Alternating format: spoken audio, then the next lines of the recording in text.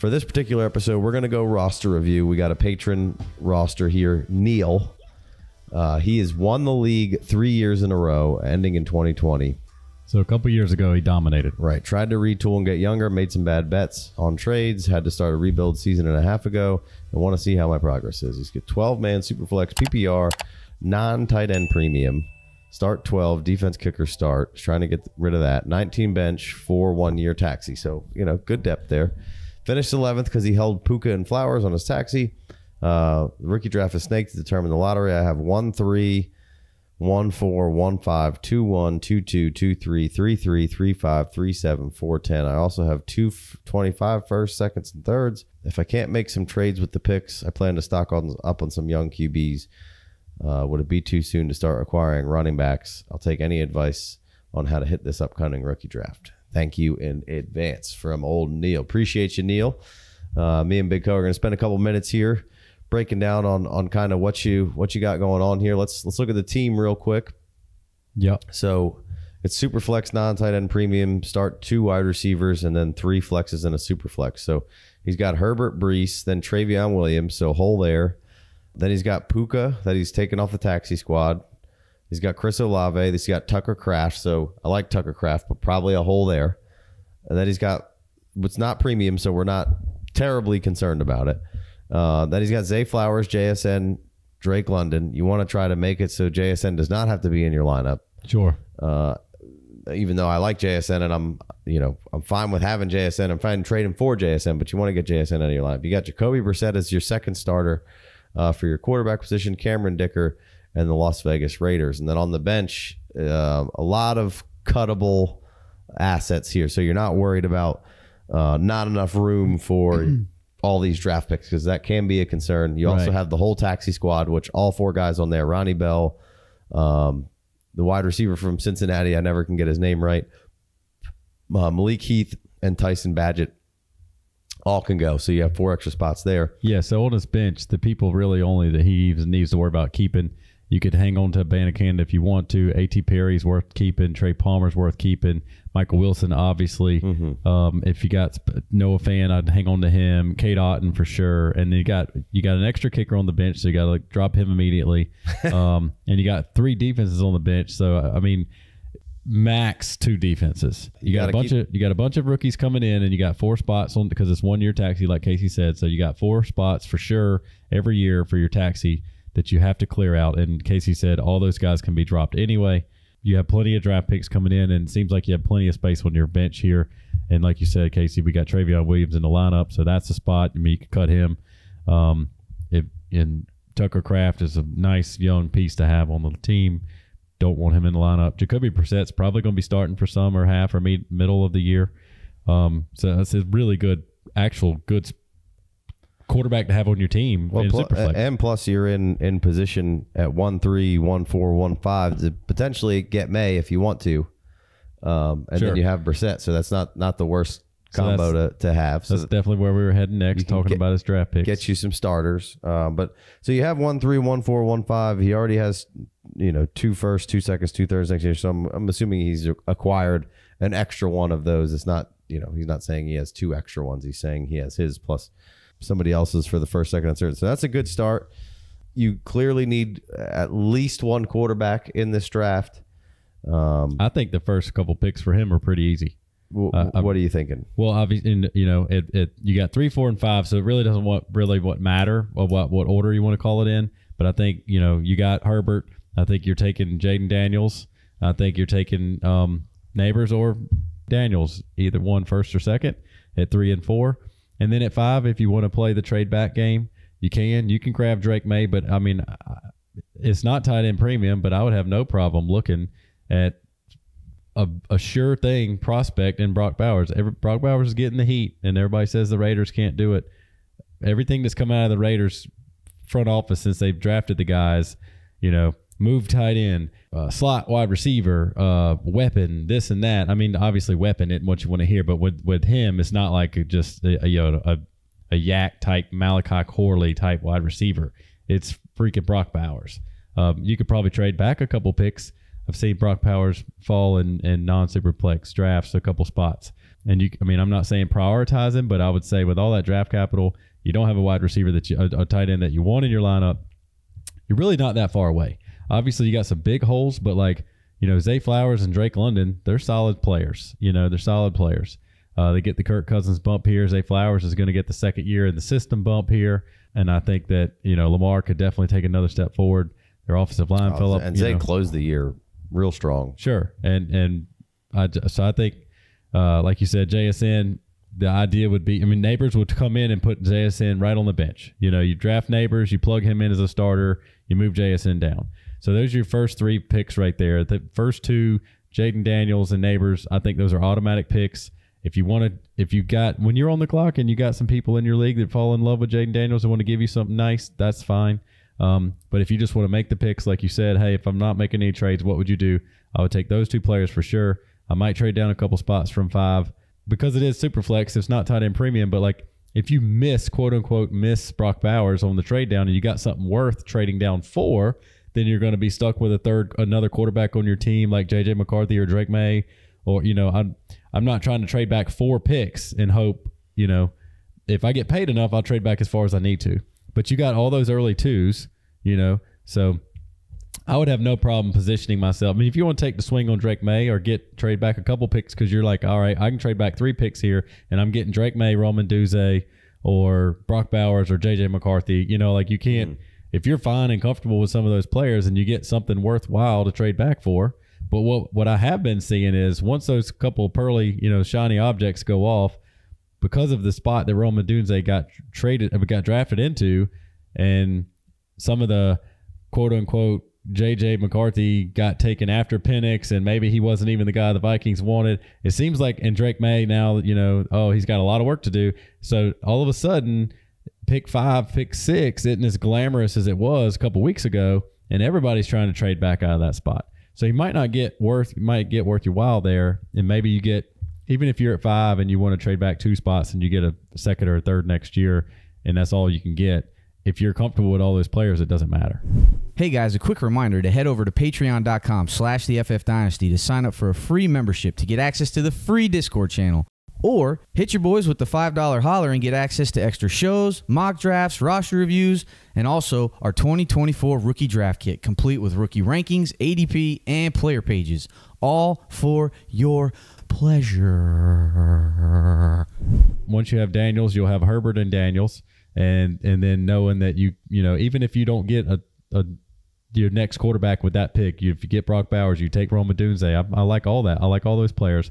I like the adding that depth to your team is great. But then you got two two two three two four.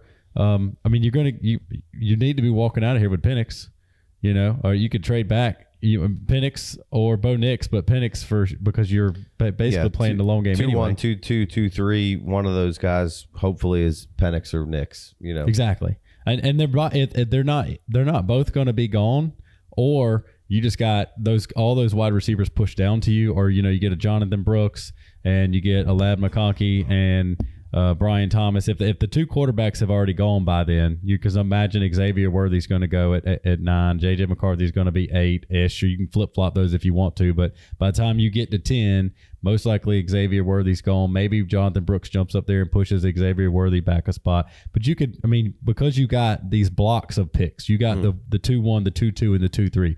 You basically control that section of the gra- draft. You got the one three, the one four, the one five. You control that section of the draft. You can pop off two picks, trade back from five, pull up. You know, maybe if the if the trade if the draft picks work out correctly, maybe you could move up two three to one twelve or something like that. And then, you know, maybe your block of three went from one, two, three in the second round to 112, one, two, you know, it's so it's just Yeah. kind of, you, you got a lot of options. And then you got the three, three, three, five, three, seven, and we'll give you names to, to put, you know, you're, you're going to be able to stack up some really good looking, you know, you, you probably throw, I don't think it's necessarily too early for you to take running backs because I really don't think as bad as your team looks bad when you get two players down your starting lineup and you see Trayveon Williams.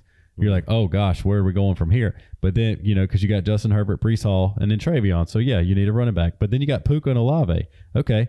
Tucker Kraft, for sure. Not the best looking name in your starting lineup. Put him on your bench. Put somebody, you know, better there.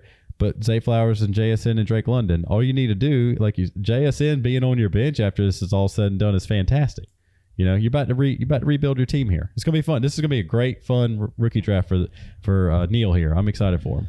Yeah, I mean that without it being premium, and even in some premium drafts, we're, we're, I've seen Sinnott fall when we do mocks. Sinnott falls a lot, so you, you could even get like You're a probably Sinnott, getting Sinnott into three. you could get him in the in that three three range. So um, for me, taking it back to the top of this thing, you know, you, you asked if you couldn't trade, and I think we can look at both sides of this um, if you can't get any done. Because I, I would agree for the most part.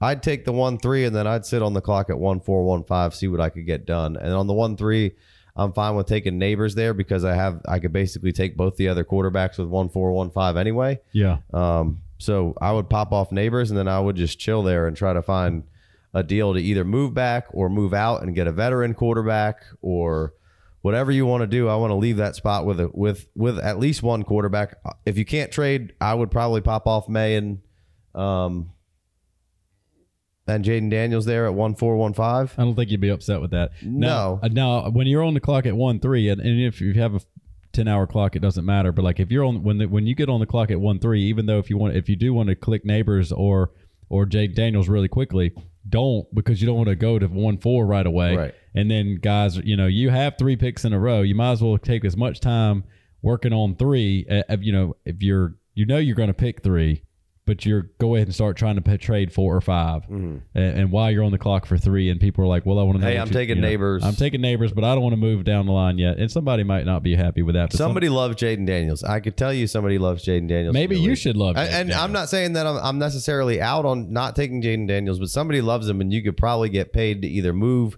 way back and pick up a quarterback, or just completely trade out and pick up, uh, you know, a, a, a quarterback that you know could start. I I traded out in this one four spot for Kyler Murray.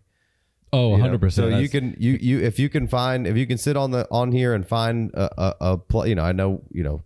You said if I can't trade, but we can Right. we can hit like. I, that's what I'm. I'm going to sit at one four one five. How far back do I have to move to pick, pick up a good player and move back and still get a player that I like? Being that one ten to Yeah. to you're you already have some of those other range, but 110, 111, 112, that's still good range. You could even still get another quarterback in that range. You could get Jonathan Brooks or Trey Benson in that range and, and add a running back. Um, so that's that's kind of how I'd be looking at that one three one four one five. I like I like the idea of taking Nabers there. Like you said, you wait and then you you now you control the other two uh, quarterbacks. If you really were feeling fancy and you wanted to take Rome Odunze with the one five, I couldn't argue with that. Or, or really Bowers. Sure. I think Bowers probably going to hang around, especially not being pre- even in premium. He's gotten pushed down, so I would, for the most part, if, if I had to bet on which guy would get pushed down the most, I would say it's Brock Bowers. I'll take just takes one though. He could be a guy from one five to to one nine, and you still get and you still get Brock Bowers. Yeah, I took one. Um, I took Brock Bowers at one four in the in the FFPC rookie drafted. That's one point five tight end per catch. Not And- super flex though. Not super flex. Yeah, exactly. Not super flex. Good point. But I, I took him with no problem. No, Mm-hmm. it's, it is premium, you know, so it, it's not. Yeah, there, po- there shouldn't really be any huge bump here. It should. JJ McCarthy went to the Vikings. It's a good spot. If it's Yeah, super flex, spot. I'm fine with saying, hey, I'll take spot. JJ McCarthy. Other than that, there should be no bump. Like, well, Malik Nabers like could have if, if Daniel Jones isn't any good and doesn't play well, like it's basically the same situation Brock Bowers is in. You know, you know what I'm saying? Yeah, yeah, Like yeah. it could be a year before you get your your quarterback with him. You let know me what hit I mean? back. Let me hit back what you said. You traded the one four for Kyler. If you trade the chance to take Jayden Daniels, you're probably not getting anybody with the that extreme of upside. Kyler is a really, really good second place of that upside. If there is, if you do want to call him second place, but you could take a lot of your downside out because if it doesn't work, he's obviously going to be scrambling around for a year or 2 mm-hmm. But like, I'm gonna take a chance. I'm gonna take this opportunity right now to say that Casey was calling this this position with Justin Fields two years ago. Casey was saying this, and I was like, "There's no chance. He's good enough. His legs are strong enough. He's good enough, and he probably ends up starting for the Steelers. Uh, he's gonna get another year. shot. It's just now we're on thin But it happened a lot faster than we thought it would.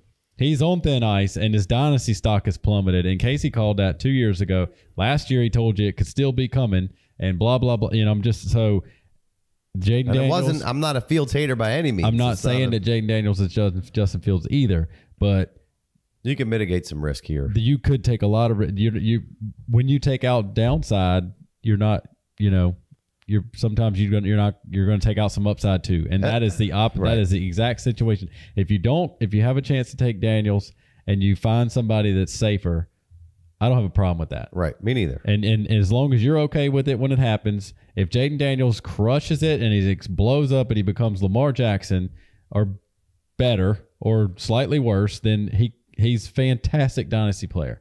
But it it, it might not happen, Right. you know. You know, so Um, I'd be going looking for Anthony Richardson, Kyler Murray, those type of guys sending sending the deal for to see if I could get get something. Oh, I mean, you're going to add to it to get Anthony Richardson. Most likely, And I'd be happy real- doing that, too. Right, people are really high on him. Another option, if you want to go trade back and go down low, like we've been seeing Dak Prescott go in the third round of mocks. You could go way back potentially, and somebody be out of love with Dak and in love with Jayden Daniels because Mm-hmm. you know people just hate Dak right now for whatever reason. He was probably had his best season he's had uh, post injury, uh, maybe ever. Uh, Let me- let me- crushed for him. So you could go way back, and just to give you an example, to grab some, for another deal, you could go way back from five or four and grab, still pick at five, still have fun with getting a rookie quarterback, and move way back from four to, to eleven, and maybe pick up you know Dak, or maybe you have to move back to two three, or you have two three. you but probably had to move you know back farther than that to you know, get but Dak, but, it just just saying like somebody if somebody else has a bunch of picks and they and they want Jayden Daniels and they have Dak and they're They like I'm sick give- of this guy Yeah. he stinks he's mid as the, as Sure. the kids you know so Well- just just just an idea of somebody cheaper that you could pick something extra up on I would I would I would go to the Brock Purdy guy before I went to Dak. sure fine same same thing Same thing. He's just 24 and right hadn't 30. got the respect yeah. on his name uh Now, do you get do you get the upside? Do you get running with Brock Purdy? No, you do not. But you get safety net, and you're going to get a plus. Jayden, somebody's going to give you something extra with Purdy, and then you put Purdy in your lineup every week, and you forget about it. Yeah. All right. So let's let's jump to the. And then he said, "Is it is it too early to to look at running backs? If you can, if you're down, if you're if you can get Benson or Jonathan Brooks anywhere in the two one two two two three area, great.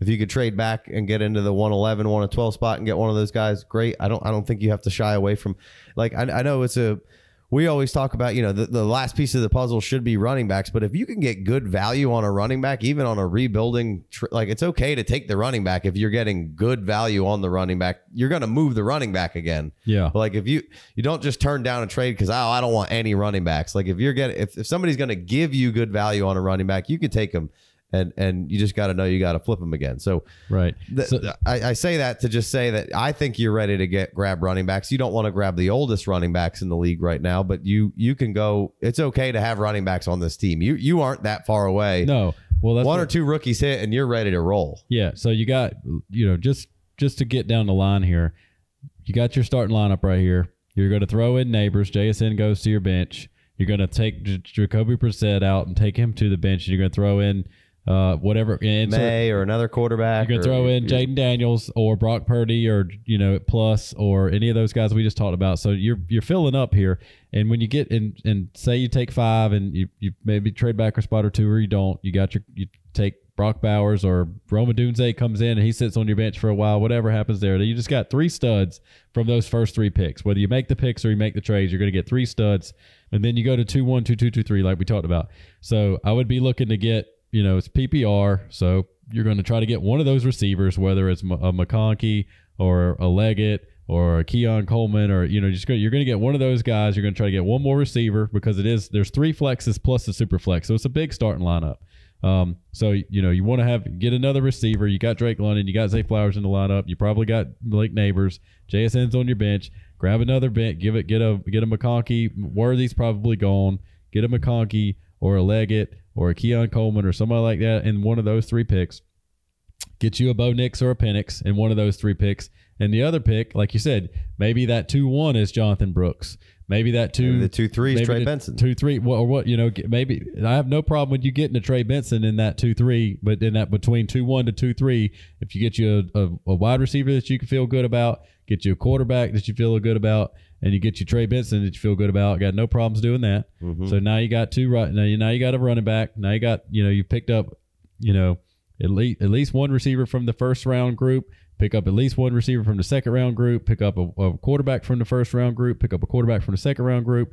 You know, and then whatever you did at one five, whether it's a tight end, what have you, whatever. And so you get a maybe you get Benson at two three, maybe you get Jonathan Brooks at two one. Obviously, if you got three in a row, it doesn't matter. But you you know you're not getting Jonathan Brooks at two three. But because you have all Most three of them in a likely. row, it doesn't matter.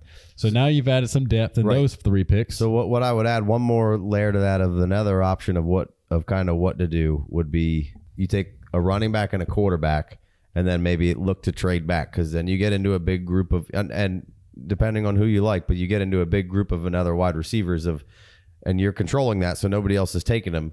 It's Keon Coleman, Pearsall, Mitchell, Leggett. Some people have Polk in there. Maybe Jermaine Burton's shot up there for you. Maybe somebody has one of those other running backs in there.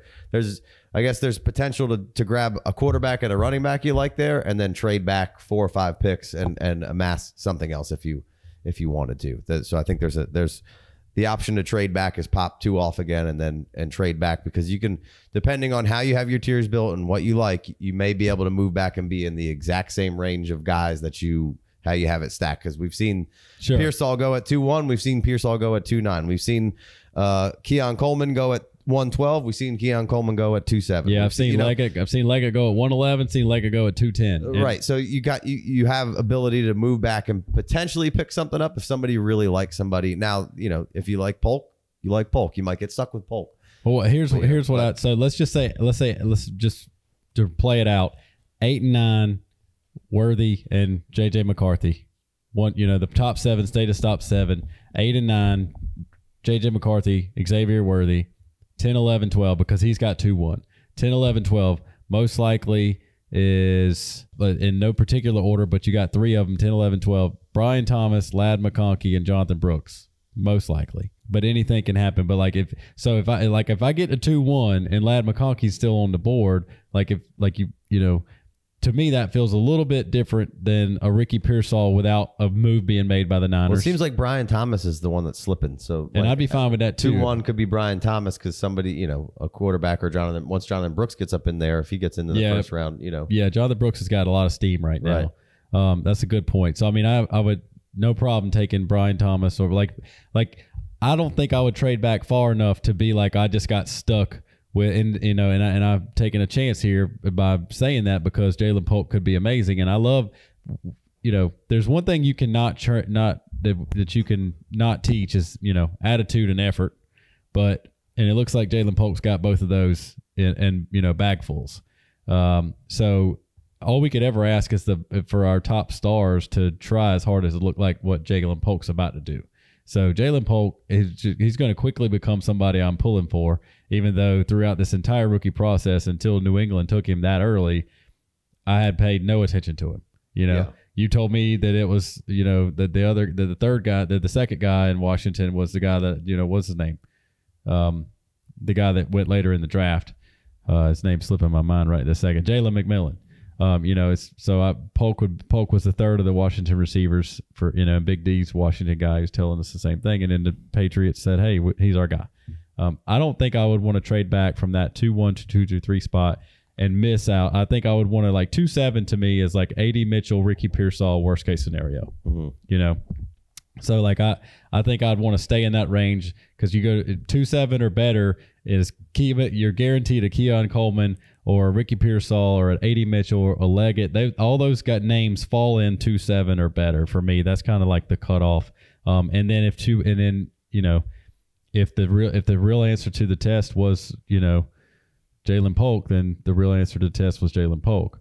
Um, but then you know you got the in in all of this craziness, all those threes that you got, I'd you know package up one or two, package up two or three of those together, and come on up and get another guy at the top, or you know in the middle in that round. If you could get in the give, you got if you can get one more guy in that two seven or better ish, two eight or better ish range for me, because I'm saying two seven, but it's it, somebody could take Blake Corum at two two. right. You know, so like they sure. just push down. Somebody could take the the Ja'Lynn Polk. Um, Jalen Wright So- could somebody go. could be into Polk, somebody early. could be into right. You know, Mhm. somebody could be you know doesn't. There's all sorts of options to to, to you know make make a, a trade back from two three to you know not, lucrative enough and, and still get the guy that you maybe even wanted. Um, so What are you looking at those mid mid threes to throw on this team? the uh you know that's three you- three so those- five three so seven. A, a good point is to say those those are great pieces to help you move around in this draft. If, Yes. If if you you know if you want to move up from two one, try to throw the three three and the three five. Three three three five three seven. Throw them all together and see what you could, how far you can move two one up. You know, I don't, you know, who knows? But Yeah. just in general, those are good little pieces to have. But if you get down to there and you're going to be making that pick, now we're typically talking tight end premium. But uh, once again, I, I mentioned Sinnott. Even in premium, I sometimes see him in at at early third. He there's no he should be. If we were talking premium now, like I got him up in the two seven two six range. Like I'm taking Sinnott all day, every day. Um, but if you can if you can get him down there in the third with no premium, I love that. JT Sanders, I'll, I'll take a swing on him as well. I can't imagine Wright and Lloyd are going to be there with no premium. Um, Right. they'll, they'll, they'll probably go. Um, if Jermaine Burton's hanging around, of course, take a stab there. I, I, I like Franklin taking a stab there if, if, if available. Um, but then, um, you know, Javon Baker in the mid third is fun. Luke McCaffrey, I mean, nobody loves him and nobody was real high on him in there. Uh, but I mean, that's good Levi's right there. Uh, he's already getting some praise in camp. They're they're loving him. He catches everything. They're, they've got they're moving him around. You know, it, it's got just as good a bet as just about anything left in the third round to bet on that last name right there. Um, Absolutely. And it, if it you know, plays out the way that And he gets he he gets left for dead a lot. And I, I you know, there's been a little groundswell. you're um, definitely getting Luke McCaffrey in the late third with no problem. Right. But I then, mean, you it- know, running back wise, real quick, it's Bucky Irving, it's Vidal are, are probably the two at the at the top of the list there for me, and then uh, then I would probably throw Ray Davis, Shipley, and Estime in there. So those would kind of be And Tyrone Tracy. Tyrone Tracy. Yeah, You- at the, if at you the could end of, get at two the or end of three of those, third. it doesn't matter. You could you could ball all those running backs up in, in a hat and draw all those names out. You're not going to be upset if Shipley's sitting on your bench. You're not going to be upset if Ray Davis is in there, you know, throwing in touchdowns for the Bills from the goal line. Yeah, I Um, mean, you know, so and if you're looking at the FFD ADP post combine, and this is again tight end premium, I mean, Will Shipley's all the way down at four five. Luke McCaffrey's at three ten. Bucky Irving three eleven. Theo Johnson, which is you know they probably don't want to take that shot non premium, um, but just you know Tyrone Tracy four eight. Um, Malik Washington and, and Cowing with your fourths. Those are my favorite end of the end of the draft shots right there. Um, so there's there's you just got also if you end up having those picks and making those picks, It's a um, good year to do that. It's great. Uh, It's a good year to lot- I mean, that and Spencer Rattler. I mean, Mm-hmm.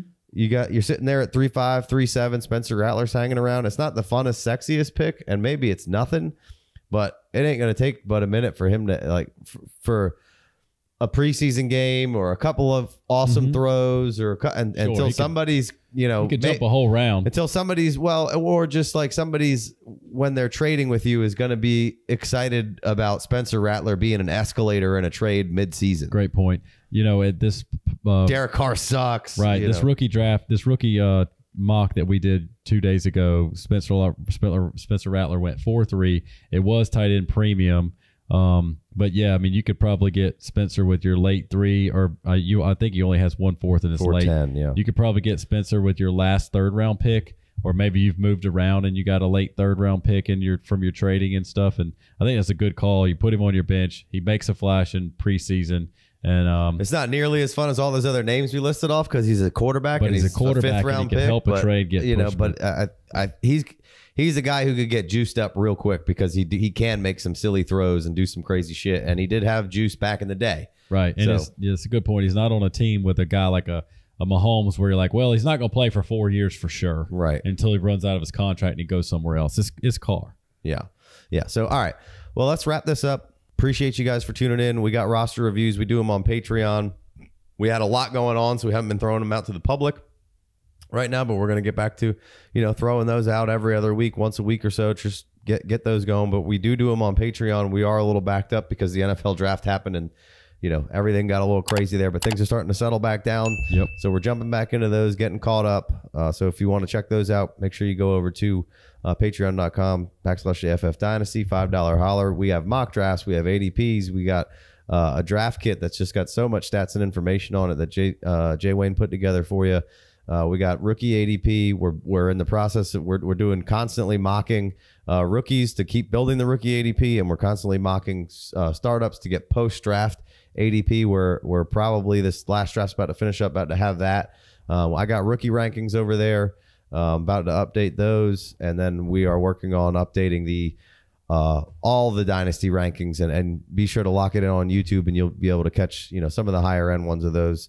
Be sure to like, subscribe if you're listening on the pod. Just hit the five stars, man. If, if you really enjoyed us and you haven't done it, wherever you're listening to, the five stars, you know, greatly uh, helps your boys out if if nothing else. And there is also a free Discord channel through the Patreon that, you know, in the general chat we'll throw, you know, you can ask questions in there. You can do whatever you want. And a lot of people will answer your questions. Sometimes we'll chime in.